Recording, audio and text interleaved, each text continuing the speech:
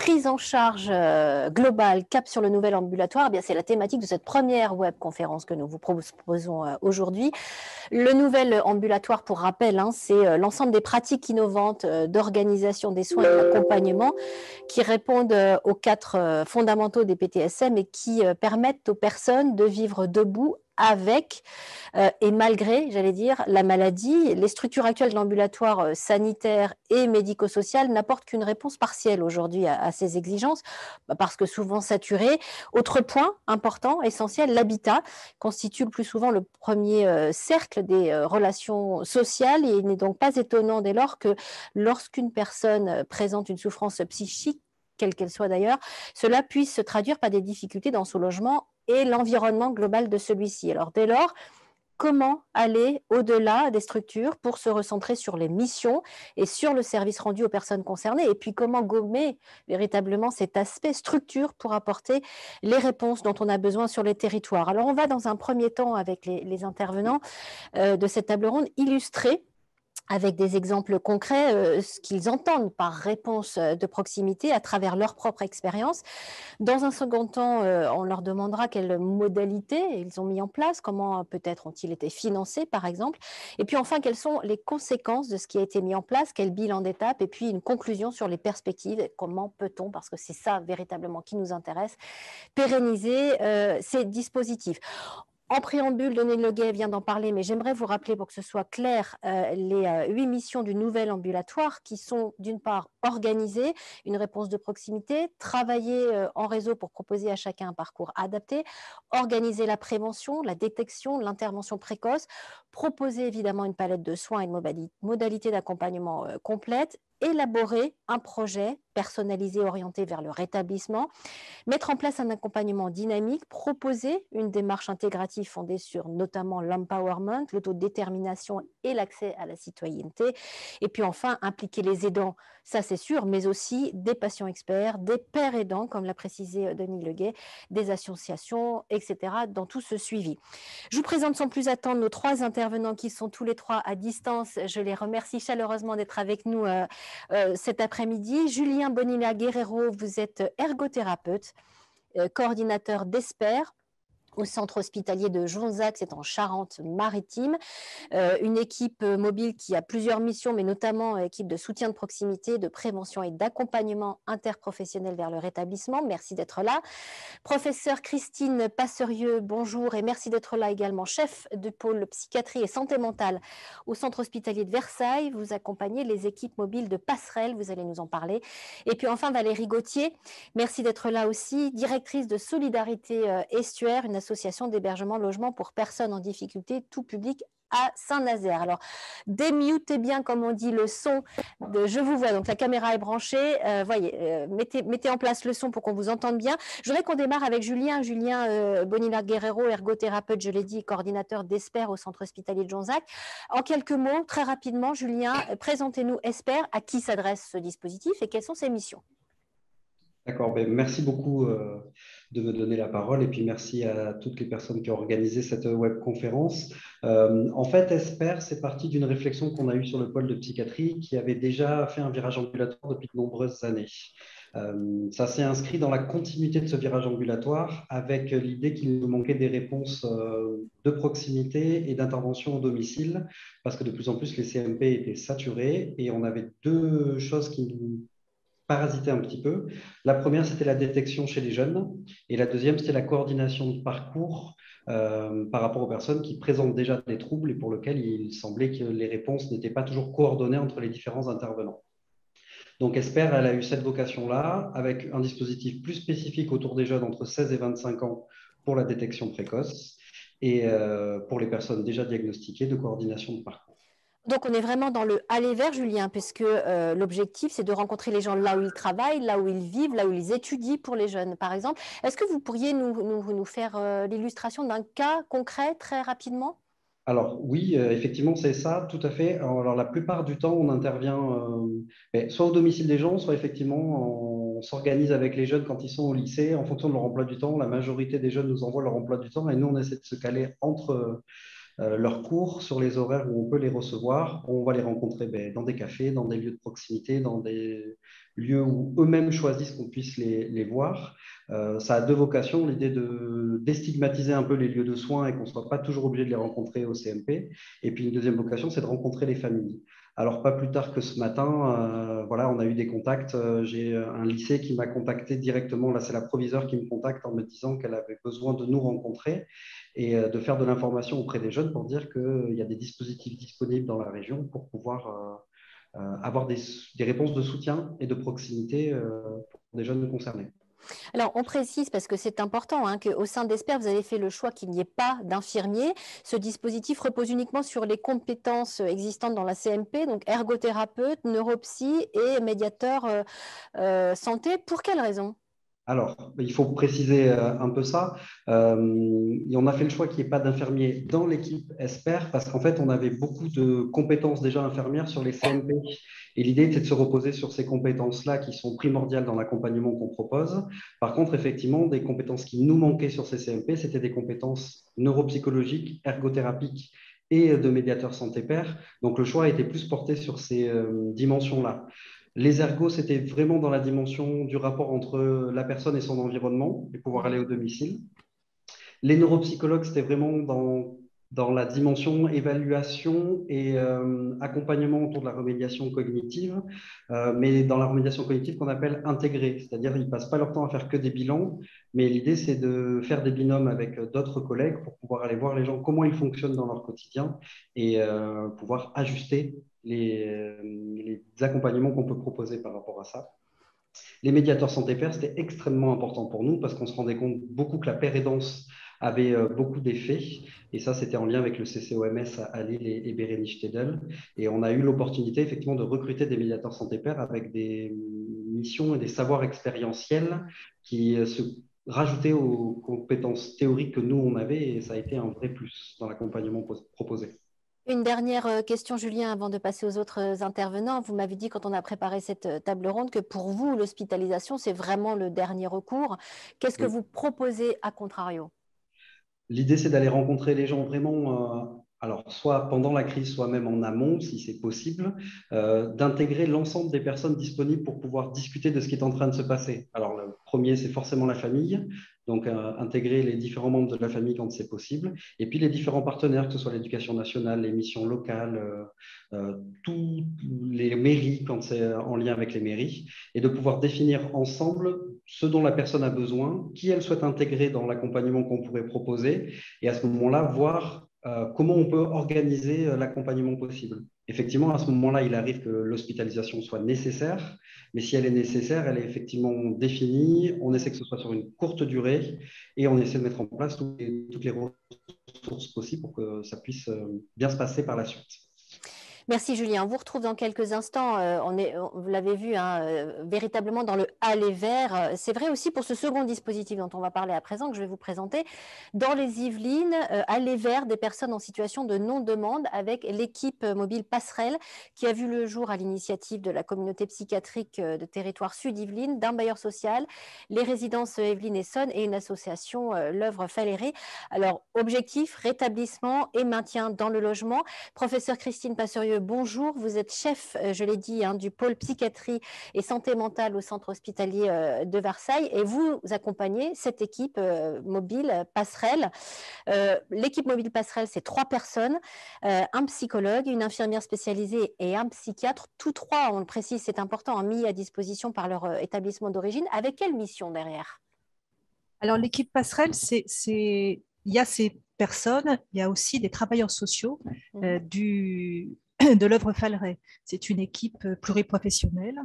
Euh, L'idée est née, on a commencé dans les, en, en 2016 euh, parce qu'il y avait un travail assez intensif qui était fait avec les bailleurs sociaux qui nous décrivaient des situations dans lesquelles ils étaient très désemparés euh, et ils ne voyaient d'autres possibilités que de mettre en place des mesures d'expulsion pour des personnes qui étaient en quelque sorte retranchées chez elles, qui n'ouvraient pas la porte, qui n'ouvraient pas leur courrier, euh, qui vivaient dans un état souvent d'abord de, très grande de, retranchement de tout lien social, de très grande exclusion, éventuellement d'incurie avec des troubles du voisinage. Euh, et, derrière toutes ces difficultés, il y avait euh, à peu près systématiquement des problèmes de santé, problèmes de santé complexes, à la fois somatiques et psychiatriques. Euh, et le secteur était euh, tout à fait démuni pour pouvoir proposer des interventions pour ces personnes. Donc l'équipe passerelle a été constituée avec comme principe le fait d'aller au domicile de ces personnes, d'essayer dans un premier temps de se faire ouvrir la porte et avec comme objectif que la porte, une fois ouverte, ne se referme pas, c'est-à-dire que la première visite, elle a pour objectif de permettre que la porte s'ouvre à nouveau lors d'une deuxième visite. Le, but de l'intervention, c'est de permettre euh, une réponse globale aux besoins de la personne, à la fois sur le plan social et sur le plan des soins, avec toute la diversité des, soins nécessaires, euh, avec toute une stratégie qui permet, on, y reviendra, pour, euh, pour réussir à ce que la personne s'engage dans, dans un processus, on va dire, de, rétablissement. Euh, et puis, au bout de quelques mois, d'un suivi relativement intensif, de repasser la main aux dispositifs de droit commun, donc au secteur, au CCAS, aux structures sociales, pour, euh, pour assurer la, la suite. et dans l'objectif, vous l'aurez compris, de prévenir des expulsions, ce qui est l'un des résultats particulièrement intéressants de, du dispositif, actuellement, à peu près la moitié des personnes qui nous sont adressées sont adressées alors qu'elles sont dans une procédure d'expulsion active. Et en général, on arrive à prévenir cette, cette expulsion et à, ce que les choses se rétablissent. Alors, il s'agit en quelque sorte, quoi, on pourrait dire, d'une maraude à, domicile. Quel, est le, quels sont les publics visés? Est-ce que vous pouvez, comme je l'ai demandé tout à l'heure à Julien, illustrer avec un cas concret peut-être? Alors, une situation un petit peu globale, concrète, c'est, ce sont souvent des, donc ce sont des personnes très isolées, mmh. souvent des hommes, souvent entre 50 et 60, 65 ans, euh, qui finalement ont un parcours qui progressivement s'est dégradé, mais qui ont eu une insertion sociale à un certain moment. D'ailleurs, ils sont, ils sont, ils sont logés. Euh, et qui ont accumulé à la fois des ruptures de vie euh, et des problèmes de santé. Je pense par exemple à un monsieur qui avait été hospitalisé pendant plusieurs mois à l'hôpital psychiatrique, puis qui euh, était dans cette situation de, de, de, dette importante pour son, loyer, qui allait être expulsé. et je sais plus ce que je voulais dire, qui, qui avait comme problématique d'avoir très peu rompu ses liens familiaux, euh, il avait des problèmes de santé, il avait des problèmes d'addiction, il, avait une, il était amputé d'un pied euh, et il risquait de se retrouver à la rue. Dans, ce cas de figure, comment euh, procède l'équipe passerelle concrètement? Comment est-ce qu'il travaille On l'a compris, on est vraiment dans le aller vert. D'ailleurs, le, nom hein, de la structure dit tout, passerelle. comment concrètement on arrive à ouvrir la porte et comment on fait, vous l'avez dit tout à l'heure, pour que la porte reste ouverte? Alors, comment on se fait ouvrir la porte? Il y a un premier, euh, travail de l'équipe qui est d'essayer de repérer euh, les, les, clés possibles pour se faire ouvrir la porte, c'est-à-dire de faire une première évaluation, d'essayer de, commencer à comprendre la problématique de la personne avant de l'avoir rencontrée et de chercher quelles peuvent être les, personnes ressources pour aider à ce que la porte s'ouvre. Euh, le, le, deuxième moyen, c'est une très très grande souplesse d'intervention, c'est-à-dire qu'il arrive assez régulièrement que l'équipe fasse un entretien alors que la porte est restée fermée mais dans, la dans un deuxième temps, euh, la porte peut, s'ouvrir. En fait, la porte s'ouvre dans plus de 90% des cas. C'était un peu moins le cas au début de l'intervention, au, début de l'équipe, et puis peu à peu, ils ont acquis une compétence, un savoir-faire pour euh, se faire ouvrir la porte. La question de, sur le plan relationnel, il y a à la fois euh, beaucoup de compassion, de respect de, la personne, et puis il y a aussi un langage de vérité sur la mmh. situation de la personne mmh. qui est mise en. Pardon. Allez-y, je vous en prie. Euh, et puis, ce qui permet d'ouvrir la porte, c'est qu'on va essayer de répondre là où la personne est inquiète. C'est-à-dire qu'on ne va pas lui dire qu'on va lui proposer des soins, on va lui dire qu'on va d'abord l'aider à rester dans son logement, hmm. par exemple. Parce que le plus souvent, ces personnes sont euh, tout à fait terrorisées à l'idée qu'elles vont être expulsées. Hmm. Professeur Passerieux, pourquoi n'y a-t-il pas euh, de médecin ou de psychiatre au sein de l'équipe passerelle? Alors, il y a un psychiatre, mais qui intervient à distance, en supervision de l'équipe et pour les mmh. situations complexes. L'équipe elle-même, elle est constituée par, elle intervient en binôme avec un travailleur social et soit une infirmière, soit une psychologue qui en fait a la double compétence d'être aussi bah, c'est anecdotique, mais qui est également infirmière. Ce que, ce que ça donne, c'est une prise en compte des besoins très concrets, très immédiats, tels qu'ils sont exprimés par les personnes, même si, bien entendu, le tout a une signification très importante dans l'histoire de vie de la personne. Professeur Passerieu, une dernière question avant d'entendre Valérie Gauthier. Comment est-ce que vous vous impliquez et pourquoi au sein de, cette équipe mobile passerelle aujourd'hui? À mon rôle à moi, ça a été de, les soutenir, de faire connaître euh, leurs actions, euh, d'exercer une certaine, d'intervenir un peu en supervision et en accompagnement de l'équipe, et puis de rechercher des financements. On va en reparler tout à l'heure. Restez avec nous. J'aimerais qu'on entende à présent Valérie Gauthier. Bonjour Valérie, vous êtes directrice de Solidarité euh, Estuaire, une association d'hébergement logement pour personnes en difficulté, tout public, euh, qui porte le dispositif SILAPSI. Euh, disposer, on l'a dit, hein, d'un dispositif est une condition hein, clé du rétablissement et de l'insertion sociale des personnes concernées. C'est l'enjeu qui a précédé la création de, de SILAPSI, c'est bien ça? Oui, c'est-à-dire que le, dispositif SILAPSI, il, s'est créé euh, au départ par la rencontre d'une euh, chargée des expulsions au sein d'un bailleur social avec un cadre de santé. Euh, la, chargée de, recouvrement était euh, euh, interpellée hein, par ses collaborateurs par le fait qu'un certain nombre de personnes avec des troubles psychiques se trouvaient dans des difficultés d'habiter, soit parce qu'on avait des situations d'impayés importantes, soit parce qu'il y avait des, troubles dans la manière d'habiter. Et bien souvent, comme le disait la personne qui est intervenue juste avant, la, réponse apportée par le, le bailleur social était l'expulsion ce qui n'est pas une réponse satisfaisante en, soi. Euh, voilà, donc cette euh, responsable du recouvrement sollicitait euh, les services de psychiatrie pour pouvoir bénéficier d'une formation pour ses collègues, pour être plus étayés dans la prise en charge de ces situations-là. De son côté, le centre hospitalier euh, bah, dit OK, mais euh, nous, à l'hôpital, on a un certain nombre de patients qui sont aujourd'hui stabilisés euh, et qui restent bloqués à l'hôpital faute d'accéder à un logement parce qu'effectivement, les troubles psychiques, c'est aussi quelque chose qui peut faire peur à un certain nombre de bailleurs.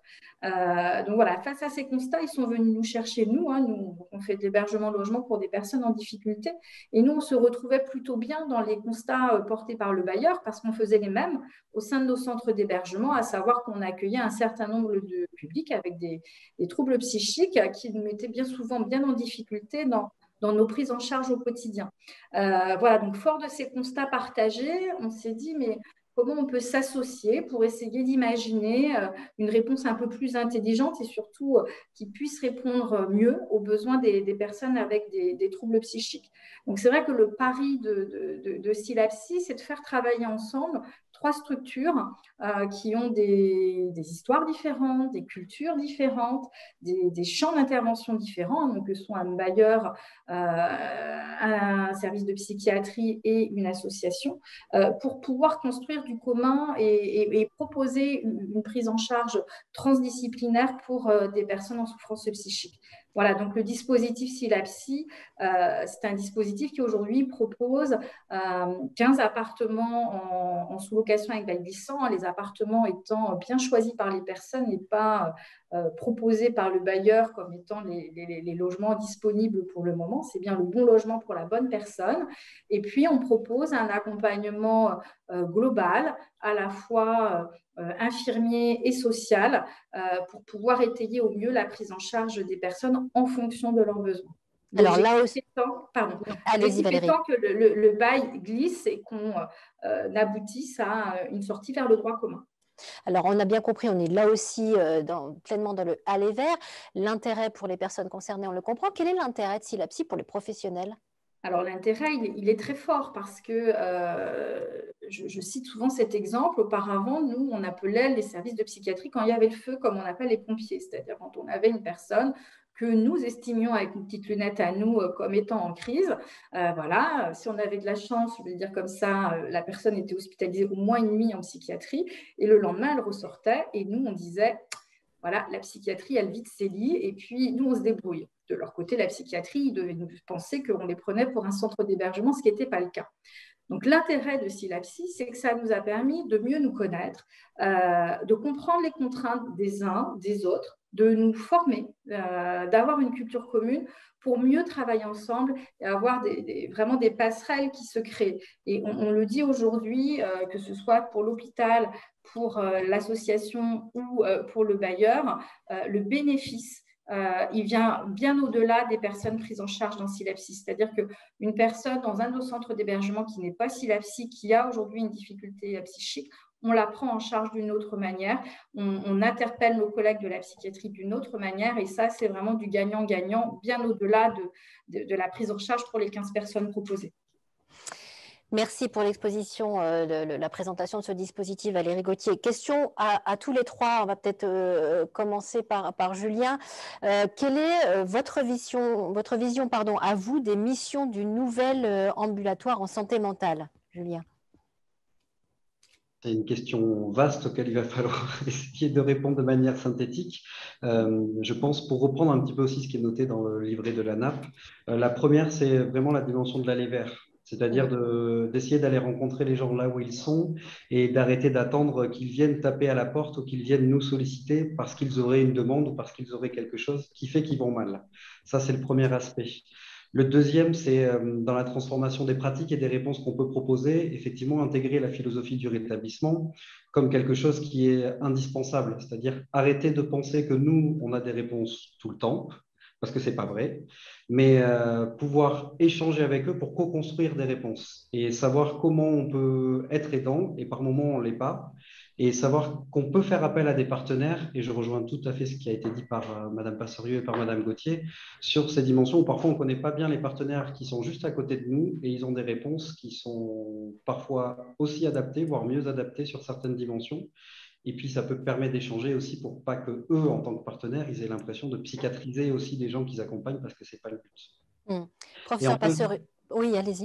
Non, j'allais dire le dernier niveau, c'est effectivement bon, la prise en charge, mais c'est l'intégration des familles qui est extrêmement importante dans ces, dans ces dimensions-là pour nous.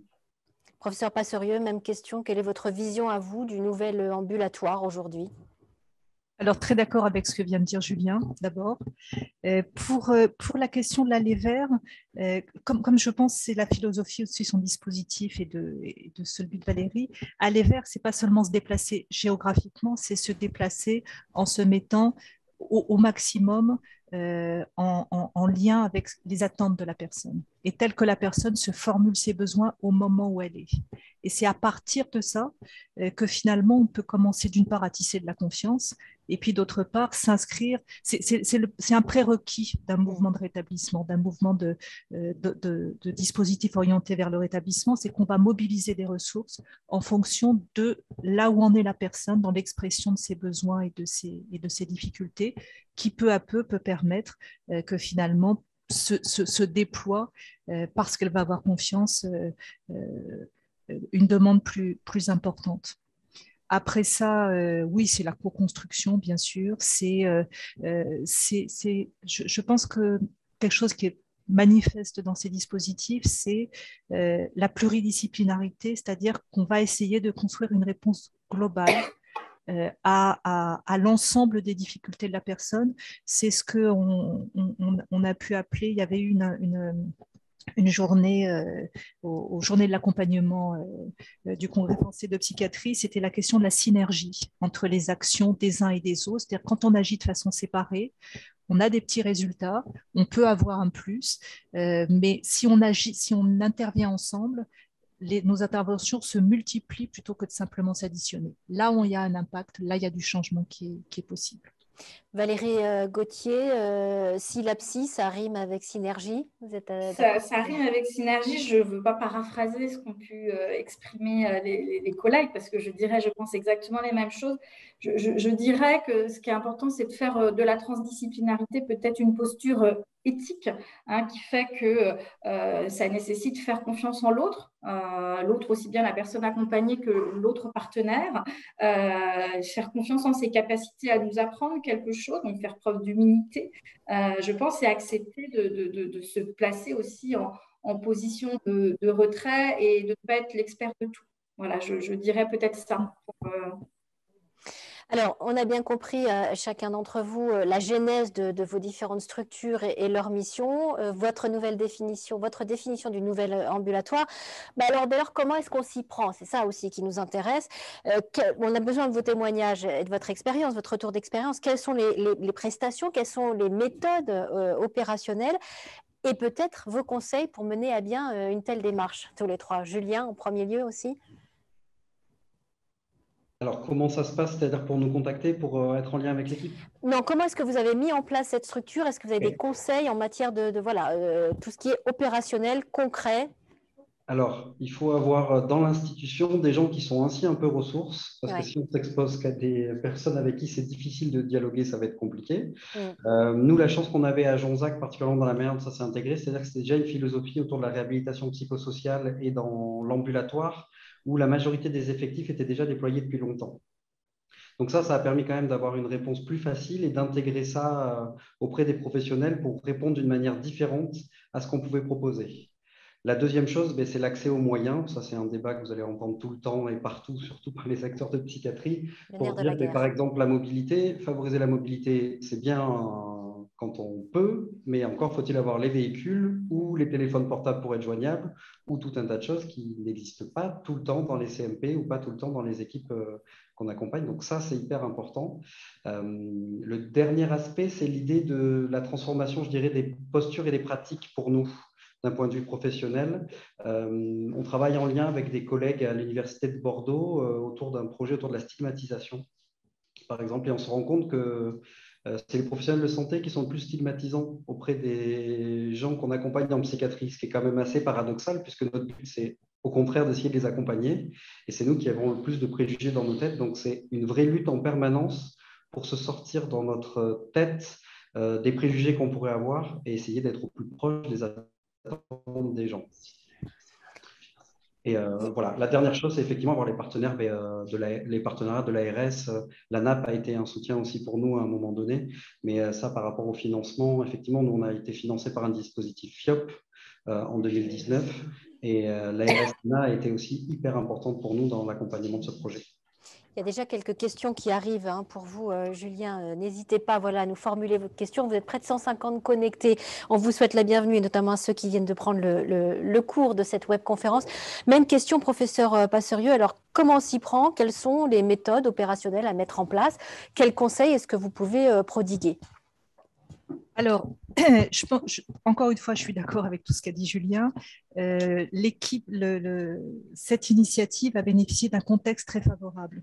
Je pense qu'en même temps, on est des équipes pionnières. C'est-à-dire que ce contexte extrêmement favorable qui a été nécessaire pour démarrer, on peut peut-être espérer que, euh, euh, bien sûr, il faut un contexte pas favorable, bien sûr, il faut des personnes ressources, mais que peut-être aussi ces dispositifs dont on a, je pense, tous à cœur de montrer la pertinence, peuvent être autant d'exemples et peut-être de, petits modules qui peuvent être implantés ailleurs. Euh, et, par rapport à ça, je me suis rendu compte que je n'avais pas remercié la NAP de, cette initiative d'aujourd'hui. Je pense que vraiment la NAP et l'accompagnement qu'elle peut proposer en termes à la fois de, faire connaître et de, nous forcer, euh, de nous inciter à, décrire tous les éléments structurants et tous les éléments déterminants de la réussite de nos projets, je pense que c'est vraiment un accompagnement extrêmement précieux. Alors pour compléter peut-être euh, ce qui vient d'être dit, euh, je, pense que nous pouvons, euh, je pense, qu'il y a aussi une structure organisationnelle, une, façon de, construire des éléments qui vont être euh, euh, facilitants et structurants pour, pour la continuité du dispositif. Par exemple, l'équipe passerelle, qui ressemble à certains égards à ce qu'a présenté Valérie, c'est un partenariat. Il faut, une, il faut un, dispositif de pilotage qui va permettre de mettre en lien euh, les bailleurs sociaux, les, travailleurs sociaux, l'œuvre Faleret, donc, et puis les, personnes du sanitaire, et un comité de pilotage qui va assurer un suivi euh, et un accompagnement de l'évolution du dispositif, qui va être là aussi pour euh, continuer à, chercher les, financements, parce que financement en air de la guerre, oui, tout à fait, et les financements que nous avons, ils, ne sont jamais, ils sont toujours précaires. Ils sont jamais, on est toujours dans la recherche de l'argent qui va permettre de continuer le, dispositif. Euh, c'est aussi, euh, comme, autre, outil absolument indispensable, des réunions de synthèse pour le questionnement sur les pratiques professionnelles qui doivent sans arrêt évoluer, pouvoir être souples, pouvoir être adaptées à, ce qui est finalement des situations à chaque fois différentes, à chaque fois nouvelles. Donc, le, les échanges interprofessionnels sont extrêmement utiles. Et là, ça prend un peu du temps et ça doit être aussi reconnu comme un temps de travail nécessaire. Voilà, je m'arrêterai là. Je pense que Valérie va compléter. Valérie Gauthier, est-ce que les planètes étaient alignées pour la mise en place de SILAPSI Est-ce que le contexte était euh, favorable? Quels conseils vous pouvez nous donner sur les méthodes opérationnelles à mettre en place pour ce genre de structure? Oui, alors ça, va beaucoup rejoindre ce que, ce que disaient les, interlocuteurs précédents. Euh, ce qu'il faut déjà, c'est une envie de travailler ensemble, je le dirais comme ça. Euh, ça, c'est la première des choses. Je pense que sur Silapsi, ce qui fait que ça a fonctionné, c'est qu'on a co-construit l'ensemble du projet euh, à trois, hein, trois institutions, parce qu'effectivement, Silapsi, peut-être à, la différence des deux autres expériences, euh, c'est un dispositif co-porté, c'est-à-dire chacun restant maître chez soi, que ce soit l'hôpital, le bailleur ou, l'association ça ne doit pas qu'être une histoire de personnes, donc ça nécessite du conventionnement entre les trois structures et on voit que c'est ce qui a permis aussi, hein, il y a eu beaucoup de changements dans les trois organisations, euh, que malgré le passage des personnes, euh, l'envie de coopérer euh, reste pleine et entière. ça passe parce que je crois que c'est important d'amener aussi cette question-là hein, qui s'est beaucoup posée sur Silapsis, sur la question du secret partagé. Euh, voilà, comment on fait travailler euh, euh, les professionnels du soin qui sont soumis au secret médical avec les bailleurs qui sont aussi soumis à un certain nombre de démons secrets par rapport notamment, par exemple, au type de dette et au montant des dettes, avec des travailleurs sociaux qui eux-mêmes sont soumis à un propre secret. Et ça, c'est des débats qu'il convient d'avoir pour pouvoir mettre en œuvre un, cadre éthique au niveau de l'intervention qui respecte les obligations des uns et des autres. ça, ça me semble primordial. Euh, la construction d'une culture commune, je pense que c'est quelque chose d'important sur Silapsi, donc qui est passé, euh, je le disais au départ, par de la formation, mais qui continue hein, de, se faire avec des analyses cliniques de situation euh, organisées par un tiers, mais qui réunit l'ensemble des professionnels des, différentes structures et qui permet de faire équipe et de, continuer à s'interroger sur la bonne pratique à adopter et puis à s'acculturer. voilà, et puis bien sûr, il y a la question des financements qui est là, euh, parce que moi, je pense que construire euh, le nouvel ambulatoire, c'est passé par euh, effectivement de la coopération sur le terrain entre plusieurs institutions. on se rend compte à travers les trois expériences qui sont présentées que c'est possible. c'est parfois plus compliqué au niveau des structures financeuses de se décloisonner. Hein. Voilà, on a vécu des choses pas simples, effectivement, hein, entre l'ARS d'un côté, les services de l'État vers son cohésion sociale de l'autre. Euh, on peut ajouter le département. Donc, il y a des volontés hein, de part et d'autre et qu'on salue et qu'on remercie, mais comment tout ça se coordonne pour faciliter aussi les choses pour euh, euh, les, structures qui mettent en place ce type de projet? Justement, c'est l'objet de ma prochaine question. je précise qu'il y a déjà beaucoup de questions qui arrivent. On va passer dans quelques minutes à cette session questions-réponses. N'hésitez pas, allez-y. Hein. Vous mm. pouvez euh, nous envoyer vos, questions. Mais, vraiment, euh, au vu de votre retour d'expérience à tous les trois, expliquez-nous ce que ces structures ont eu ont aujourd'hui comme conséquence, euh, pour quels résultats et quel impact sur les organisations institutionnelles. Est-ce que Julien, par exemple, la mise en place de votre structure a permis de fermer des lits d'hospitalisation? Alors, je ne sais pas s'il faut le formuler comme ça, parce que ça faisait déjà partie de la philosophie euh, de l'établissement d'essayer de réduire à ce qui était le plus pertinent possible sur le territoire, d'avoir le nombre de lits nécessaires. Aujourd'hui, je crois qu'on, enfin, je ne sais pas que je crois, je suis sûr, on est à 24 lits pour à peu près 180 000 à 200 000 habitants. Et euh, sachant qu'on est dans une région où il y a la ville de Royan qui l'été peut exploser à 300 000, euh, enfin sur le secteur, on a un certain nombre de personnes qui pendant l'été peuvent aussi consulter. Donc euh, nous, ce que ça a réellement changé, en fait, c'est le délai de réponse. C'est-à-dire, on était très embêtés pendant un temps sur le temps qu'il fallait pour que les gens puissent rencontrer et les équipes, et particulièrement le médecin, et qui était celui qui décidait des soins qui allaient être proposés. là, à l'inverse, on a travailler sur euh, ben, à la fois la confiance commune entre les membres de l'équipe et l'idée que dès qu'on a un contact, nous, au sein de l'équipe ESPER, l'objectif est d'avoir une réponse dans les 48 heures, au moins téléphonique, on va dire qu'on arrive à le maintenir assez bien. Ça demande une certaine forme d'exigence et puis du temps consacré à ça, mais ça se tient plutôt bien. Et jusqu'à ce que le rendez-vous avec le médecin soit défini, l'idée de rencontrer les gens. Voilà. Et à ce moment-là, quand arrive le rendez-vous avec le médecin, il y a déjà tout un parcours qui a été effectué. On est déjà dans l'idée, est-ce que c'est quelqu'un qui rentre dans le dispositif ESPER ou pas spécialement? S'il y rentre, quel accompagnement on peut proposer? Et s'il n'y rentre pas, vers qui on peut l'orienter pour qu'il trouve quand même des réponses qui soient adaptées à sa situation? Nous, ce qu'on observe dans les jeunes qu'on voit, c'est beaucoup, beaucoup, beaucoup de difficultés autour de parcours complexes, mais en lien soit avec des troubles d'ordre neurologique non traités et qui sont orientés vers la psychiatrie, soit avec des parcours dans lesquels il y a des traumatismes importants et pour lesquels il n'y a pas du tout de réponse possible autre que la psychiatrie. Donc notre idée, c'est effectivement d'essayer de répondre à ça du mieux qu'on peut, tout en ne psychiatrisant pas les gens et en étant dans une forme de déstigmatisation pardon, des soins qui sont proposés. La dernière chose, c'est offrir un panel de réponses sur les CMP. Et là, c'est en lien avec euh, beaucoup de collègues qui se sont formés, euh, alors à la fois d'un point de vue personnel et puis en lien avec les finances de l'institution sur des, formations. Et donc d'offrir un maximum de réponses aux gens sur le territoire avec des techniques de soins qui sont aussi euh, validées d'un point de vue scientifique. C'est-à-dire qu'il n'y a pas tous les types de soins possibles, mais au moins des soins dont on sait qu'ils ont une réponse qui sont pertinentes auprès des gens qu'on reçoit.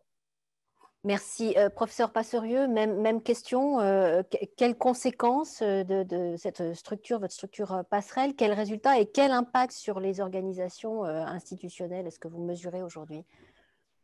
Alors, le, dispositif passerelle, il, s'inscrit dans un mouvement plus large, je dirais, de mmh. partenariat entre, entre le sanitaire et, et, les partenaires sociaux, médico-sociaux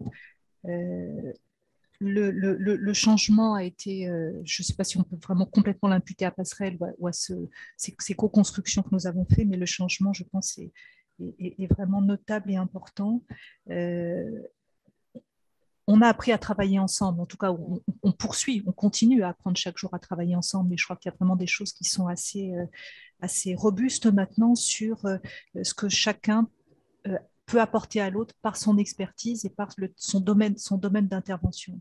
Mm. Euh, c'était ce que, ce, que je disais, euh, ce que je disais précédemment sur le fait que finalement, le social euh, est aussi un soin et peut permettre dans certaines situations de, que la situation ne soit, pas ne soit pas psychiatrisée, même si les professionnels de la psychiatrie peuvent apporter un soutien pour que les professionnels du, du, social travaillent en sécurité de façon très simple, euh, dans un binôme avec un travailleur social et un infirmier, l'infirmier va oser poser des questions qui sont des questions techniques d'évaluation, de dangerosité, du risque suicidaire, d'une symptomatologie qui ne sont pas du tout du registre de l'intervenant social, qui ne va pas pouvoir poser ces questions, mais qui pour autant peut pressentir que là, il y a, quelque chose qui ne va pas très bien et qui va freiner sa possibilité d'intervention. Dès lors qu'il y a un professionnel sanitaire à ses côtés, et eh ben, il peut y aller et il peut mobiliser ses, ressources.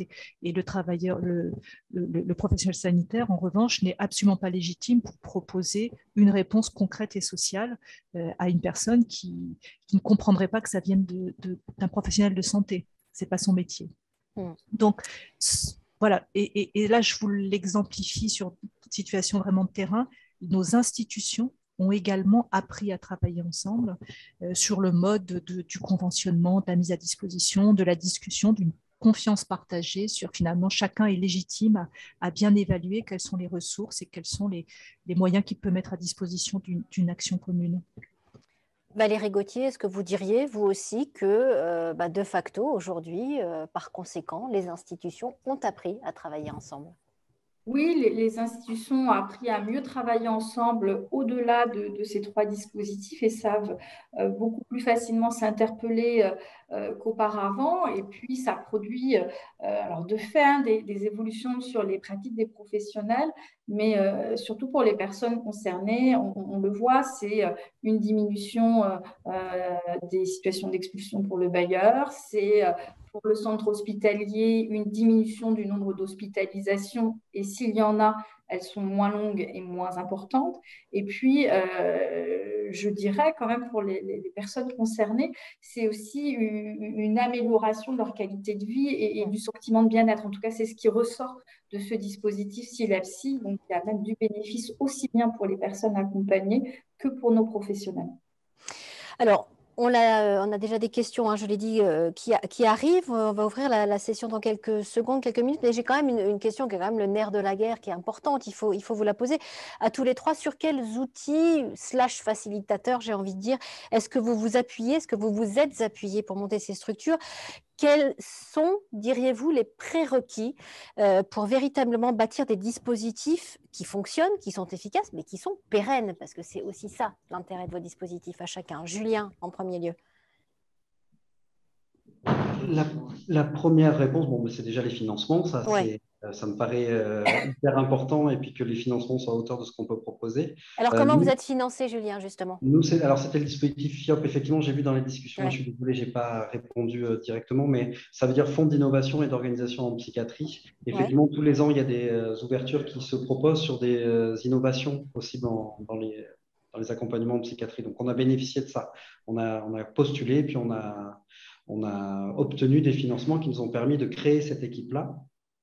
Euh, donc ça, c'était la première partie. La deuxième chose, c'est euh, la pluriprofessionnalité. On l'a dit tout à l'heure, mais je pense que c'est extrêmement essentiel, c'est-à-dire d'avoir des compétences et des champs de compétences différents qui viennent se compléter les uns les autres et d'utiliser dans aussi les structures autres que les nôtres des compétences qui ne sont pas présentes à l'intérieur de l'hôpital. Ça, ça me paraît la deuxième chose importante.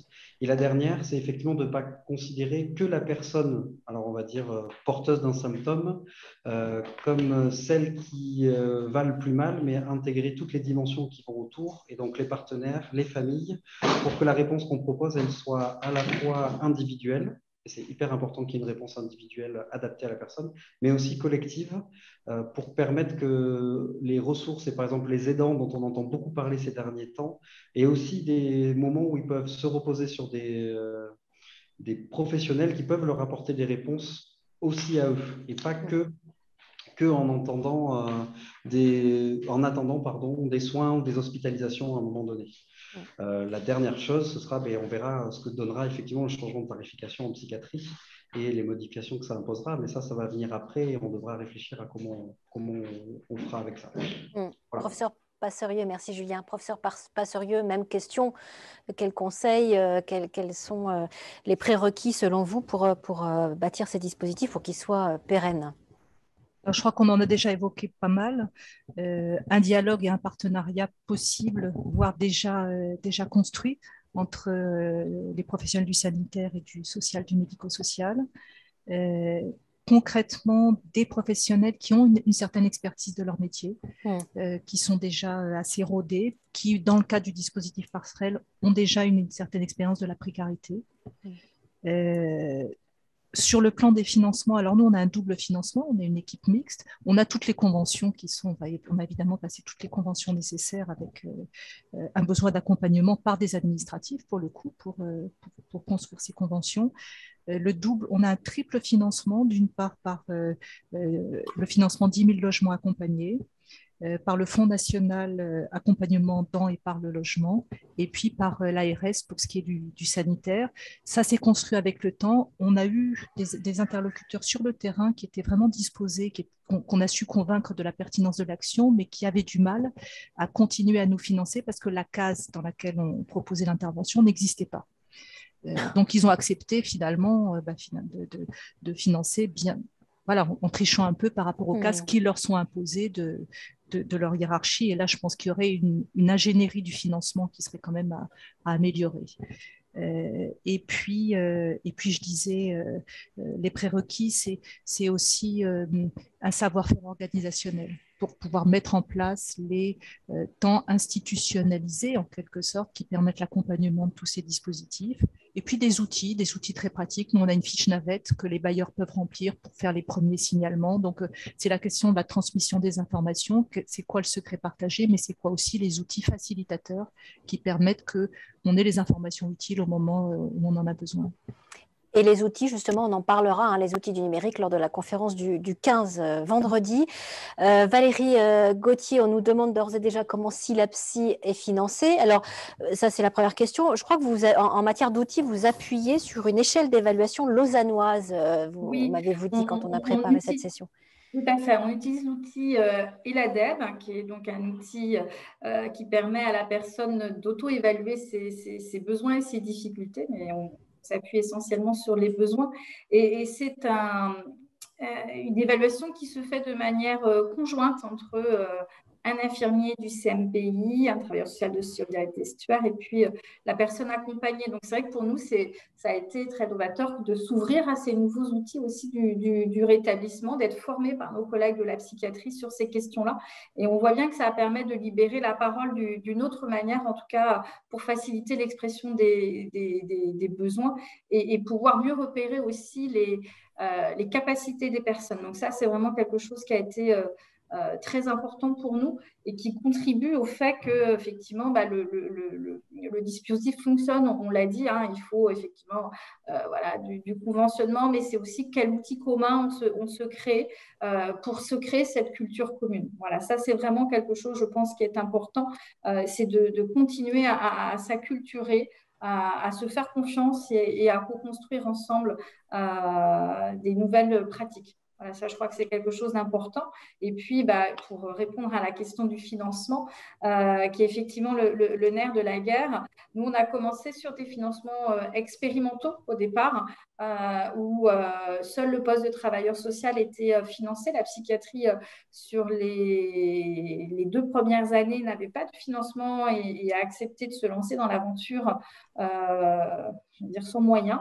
Euh, parce qu'on croyait qu'il y avait des choses à faire. Donc, euh, je, profite de l'occasion qui m'est donnée pour les remercier. Au départ, le poste de travailleur social était financé par la Fondation de France, donc euh, pour un an, et puis par l'appel à projet 10 000 logements accompagnés, qui est un appel à projet porté par l'Union sociale de l'habitat.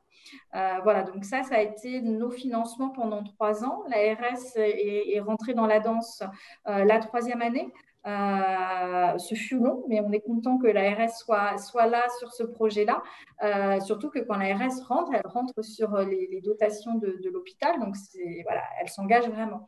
Euh, et on est arrivé effectivement à quelque chose d'un petit peu compliqué parce qu'au bout de trois ans, du coup, le, le champ du, du, sanitaire était financé, mais la partie euh, plutôt sociale ne l'était plus. Euh, donc c'est vrai que les services de l'État nous ont beaucoup soutenus, notamment sur du Fonds euh, national d'accompagnement vert et dans le logement. voilà, mais c'était des fonds de tiroir, donc on, mm. y allait petit bout par petit bout. Et des fois, le, il manquait des petits bouts. donc, du coup, bah, on a pris sur nos fonds propres pour y arriver. Et aujourd'hui, on a un financement ARS et FNAVDL mais avec aussi bah, peu de visibilité sur la suite. Et ça, ça précarise beaucoup. Euh, voilà, je trouve que les dispositifs qu'on a pu présenter, c'est des chouettes aventures euh, euh, humaines et professionnelles, mais ça demande une énergie folle sur trouver les financements et leur pérennité. Et ça aussi en décourager plus d'un. c'est un combat constant, on l'aura bien compris. Je vous propose, parce qu'il est 13h30, qu'on ouvre notre session de questions-réponses et je vais accueillir à mes côtés Corinne Martinez, qui est manager responsable de projet psychiatrie et santé mentale à la NAP. Bonjour Corinne, venez vous installer. On va pendant 10 minutes, un quart d'heure répondre à vos questions qui sont déjà euh, assez nombreuses et j'en ai une d'ailleurs tout à fait pour vous, Corinne. Le titre de votre publication est Nouvelle ambulatoire. Pourquoi est-ce nouveau? C'est vrai, ça, ça c'est une question intéressante. Bonjour Sophie, euh, merci pour cette animation. Alors c'est tout simple, hein, euh, nouvel ambulatoire. D'ailleurs, vous avez la, la, signification dans son double titre. Euh, ambulatoire, on l'a pris au sens étymologique, debout. Ambulatoire, ça veut dire debout. Donc ambulatoire pour une vie debout. Euh, c'est ce qu'on voulait euh, expérimenter euh, au travers de toutes ces, expériences qui nous ont été rapportées. Et donc, peut-être si je faisais un petit parallèle juridique, en gros, l'idée, c'est de renverser la charge de la preuve pour qu'on parle de moins en moins de parcours du combattant et de plus en plus de parcours de vie.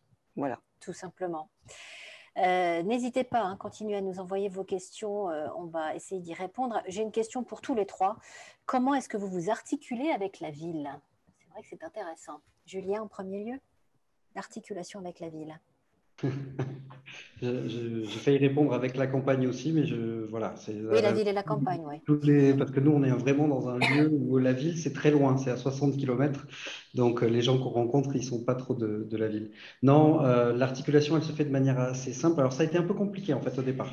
ça, le contact avec les médecins traitants, par exemple, ça passait beaucoup par les médecins psychiatres. Et les médecins traitants, avoir d'autres professionnels de santé que euh, les médecins psychiatres, ça a été un peu compliqué au départ. Ensuite, on a beaucoup utilisé en fait les, les usagers. Alors, c'est pas bien de le dire comme ça, mais en fait, c'est les usagers qui ont beaucoup transformé ces liens-là entre les différents partenaires. Parce qu'eux, ils étaient porteurs d'une demande et ils étaient en demande, par exemple, que nous, on vienne à certains types de consultations, à certains rendez-vous, à certaines rencontres. Et euh, c'est eux qui choisissaient la manière dont ils voulaient nous présenter. Donc vraiment, l'objectif, c'était, on n'était qu'un outil pour eux qu'ils utilisaient de la manière euh, qu'ils voulaient. Voilà, c'était ça la première réponse. Là, maintenant, ce qui permet aussi d'avoir... Euh, la possibilité d'échanger entre les différents acteurs, c'est les, CLSM et les orientations des PTSM qui permettent quand même beaucoup plus facilement d'échanger et d'articuler des réponses qui sont, qui sont adaptées. Mmh. Professeur Passerieux sur l'articulation avec la ville. Alors, ça pourrait être de façon aussi naturelle que ce que décrit Julien, si, mais j'imagine que c'est pareil chez lui, si on n'était pas dans une, dans une situation de, de crise démographique. Et donc, euh, les professionnels de ville, bah, ils ne courent pas forcément après, euh, après les clients, et en particulier par rapport à des, des, des, personnes qui sont euh, précaires, qui peuvent rater des rendez-vous, qui peuvent, etc. Donc, donc on, tisse, on tisse des liens, on accompagne. Et puis, il y a aujourd'hui quand même des maisons de santé pluriprofessionnelles qui ont, sont apparues et qui sont assez accueillantes. Euh, ponctuellement, enfin, euh, ça, dépend des situations, mais qui, sont, qui, ont une préoccupation de santé publique et qui sont, qui sont accueillantes. Non pas que les professionnels isolés ne soient pas accueillants, mais ils n'ont pas forcément la même facilité à répondre que, que les maisons de santé. L'équipe euh, mobile suit aujourd'hui entre 60 et 80 personnes, c'est ça, vous m'avez dit. Hein. Voilà, en, permanence, la, durée moyenne de prise en charge est de 8-9 mois. Et euh, il y a, y a, euh, comment, on appelle ça, un case load, c'est-à-dire chaque, professionnel de l'équipe a, enfin, il y, a, trois professionnels pour 60 patients dans les Yvelines Sud euh, et on est en train de les Yvelines Nord, donc la totalité des Yvelines. Du coup, il y a une équipe qui, s'est agrandie, qui se construit euh, au niveau des Yvelines Nord avec les mêmes, les mêmes principes. Donc là, un début d'extension. vous me disiez pour autant que vous rencontrez vraiment aujourd'hui cette grave inégalité territoriale qui est présente. Hein. On, peut, on peut que la constater inégalité, enfin, il y a des déserts médicaux aussi, c'est ce que. Oui, c'est ça. Ou des, des, des, ressources qui sont inégalement réparties, oui, bien sûr. Ça, c'est aussi, ça fait partie des difficultés. Valérie Gauthier, sur l'articulation avec la ville alors, j'ai envie de dire c'est le cœur du, pro, du projet parce que l'objectif, c'est bien d'intégrer la personne dans son logement, dans son quartier, dans la ville et donc avec les différents partenaires euh, que la personne va identifier. Et, de fait, nous, travaillons au quotidien avec eux. Donc, euh, je veux dire, ça peut être effectivement les professionnels de santé, ça peut être les tuteurs, ça peut être euh, des, des, centres sociaux, des assistantes sociales de secteur. Enfin, l'objectif pour nous vise l'intégration effectivement dans le quartier et dans la ville les choses se sont faites plutôt naturellement au final. on n'a pas de difficulté par rapport à ça. Euh, parce qu'effectivement, enfin, chacun, il y a une plus-value aussi. Euh, c'est-à-dire le, dispositif SILAPSI euh, et, son accompagnement renforcé, bah, ça rassure aussi les, différents partenaires de la ville et du quartier. Bien sûr. J'ai une question pour, pour vous deux, Madame Passerieux et Madame Gauthier. Quelle est la différence entre votre initiative et le dispositif Un chez-soi d'abord? Madame Passerieux en premier. Oh, Valérie Gauthier, allez-y, conservez la parole. Euh, alors, on n'est pas déjà sur les mêmes, euh, me semble-t-il, dimensions. Euh, le, chez-soi, il, est très pensé pour les métropoles. Mm. nous, on est à Saint-Nazaire, on n'est pas du tout une métropole. voilà, on était à 10 places, on monte à 15 places. Donc, donc ce n'est pas tout à fait la même, la même chose. On, est, me semble-t-il, mais je, peux commettre des impairs, plus ouvert aussi sur les typologies publiques, c'est-à-dire qu'on n'est pas que sur euh, des, patients psychotiques. Hein, euh, c'est vrai que si la psy, c'est toute personne avec une souffrance psychique au sens large. Euh, donc, je pense que le, public est plus, est plus vaste. Et comme on est surtout sur un plus petit territoire, je dirais qu'on est, on, fait plus peut-être du sur-mesure que la grosse machine du chez-soi. Mais ce, voilà, c'est une nouvelle fois peut-être euh, une, vision qui m'est propre, qui n'est pas toujours la réalité peut-être. Alors la vision de Madame Passerieux sur, euh, sur cette question? Je crois qu'on a des en commun quand même pas mal avec un chez soi d'abord, ne fût-ce qu'une orientation vers, euh, pour promouvoir le rétablissement des personnes et, une attention particulière euh, euh, portée à la manière dont, à la demande immédiate de la personne. Après ça, comme, comme l'a dit Madame Gauthier, on est ouvert à un public plus large qu'un chez soi d'abord. Et puis surtout, les gens, ils sont logés. On intervient, on fait des maraudes à domicile. on ne s'adresse pas à des gens qui sont à la rue. On intervient en prévention. C'est des gens qui, pour beaucoup d'entre eux, se, se, pourraient assez rapidement se retrouver à la rue, mais on essaye de ne pas faire, pas faire grossir le nombre de, de, de, personnes sans domicile. Peut-être, on va peut-être prendre, on a le temps cinq minutes de prendre peut-être une dernière question à tous les trois cette fois-ci. Avez-vous évalué vos dispositifs et comment Julien? C'est une excellente question. C'est quelque chose sur lequel on est euh, totalement en cours.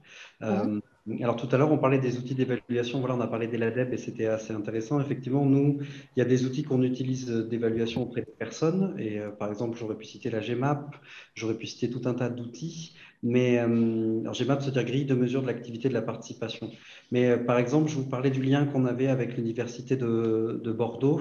Et il y a un des collaborateurs qui intervient dans cette université qui a construit avec nous alors on, dit un protocole, c'est pas bien dit parce que c'est pas destiné à tout le monde, c'est-à-dire on le fait pas passer, on fait pas tous les outils à tout le monde à un moment donné, mais on décide dans cette boîte à outils quels outils sont pertinents pour évaluer euh, les dimensions sur lesquelles les gens veulent qu'on les accompagne. Et dans ces évaluations-là, il y a forcément une évaluation pour eux, de nous, c'est-à-dire de est-ce que dans ce qu'on leur propose, ça répond aux demandes et aux attentes qu'ils ont? Et ils ont le droit de nous dire que par moment, ce qu'on leur propose, c'est pas du tout adapté et que ce qu'on fait, c'est pas du tout euh, en, en, lien avec leurs attentes.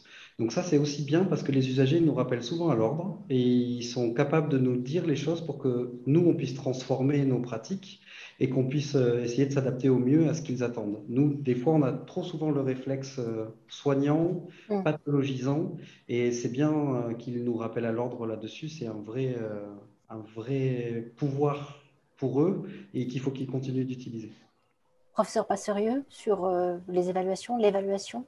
Alors, on a plein, plein, plein d'indicateurs, bien sûr, parce que pour euh, réussir à trouver des, financements et convaincre les uns et les autres, il faut vraiment euh, pouvoir montrer ce qu'on fait, montrer le devenir des personnes, montrer la nature des situations et après ça, les résultats. Là où il y a quelque chose d'assez intéressant, ce serait de pouvoir faire la preuve que d'un point de vue médico-économique, ce dispositif est vertueux, eh c'est-à-dire que finalement, il coûte moins cher que si on n'intervenait pas.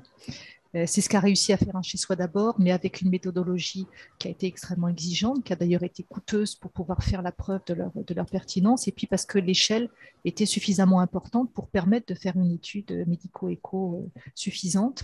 Euh, nous, on a des indicateurs quand on fait que d'un point de vue financier, finalement, le dispositif permet d'économiser de l'argent.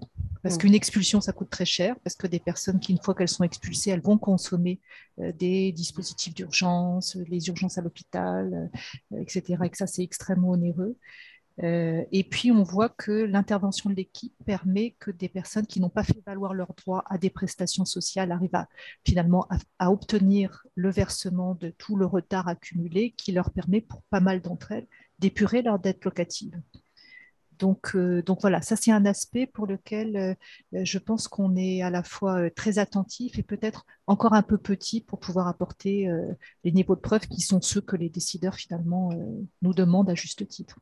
Valérie Gauthier sur l'évaluation de Synapsis.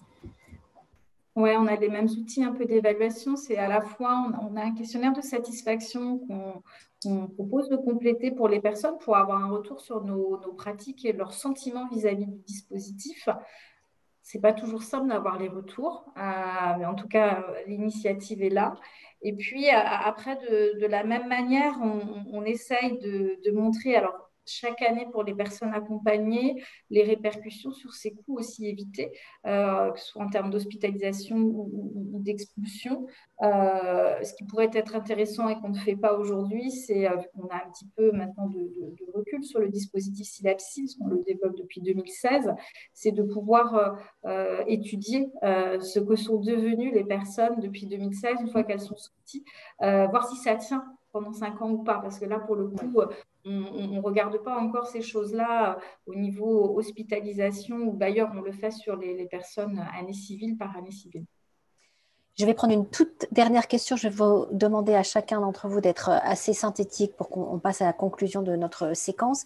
Dernière question, est-ce que vous êtes intégré, est-ce que vous diriez que vous êtes aujourd'hui intégré dans votre projet territorial de santé mentale? Si oui, comment? Julien alors, j'aurais répondu oui très vite, en tout cas j'espère. Euh, oui, on est intégré parce que je pense que les euh, différents interlocuteurs, ils ont maintenant la possibilité de savoir qu'ils peuvent faire appel à nous et que dans l'objectif de ce qui est proposé, euh, ils ont toujours une réponse, même si ce n'est pas Esper qui peut faire la réponse, en tout cas d'orientation et d'information par rapport à ça. C'est vraiment les axes en plus du PTSM qui ont été développés sur la Charente-Maritime, donc vraiment ça c'est un aspect facilitateur pour nous. Professeur pas sérieux? Oui, bien sûr, on est intégré dans le PTSM. Euh, toute la question de l'accès au logement pour des personnes euh, soit en situation de précarité, de vulnérabilité psychique, soit pour les personnes souffrant de troubles psychiatriques, c'est plusieurs fiches actions du PTSM. Euh, et, l'équipe passerelle s'inscrit dans, dans, ces dispositifs et par ailleurs, elle est identifiée sur le territoire, elle est connue depuis 2016 qu'elle existe. Donc oui, tout à fait. Valérie Gauthier, enfin eh bien, même réponse, on est pleinement intégré sur le PTSM. Euh, il y a un groupe de travail spécifique sur, euh, sur l'accès et le maintien dans le logement auquel on participe activement. Et je dirais que l'appel à manifestation d'intérêt sur les sortants d'hospitalisation au long cours a aussi permis euh, sur, sur même le territoire de la région, à Silapsi de faire des petits, alors des fois des, petits frères et sœurs, des fois des petits cousins, mais en tout cas de pouvoir s'inspirer de, de l'initiative qui était menée pour s'adapter après aux spécificités des différents territoires. Donc c'est plutôt intéressant d'avoir ce, ce, soutien et cette reconnaissance dans les PTSM. Merci à tous les trois. Vous restez avec nous parce que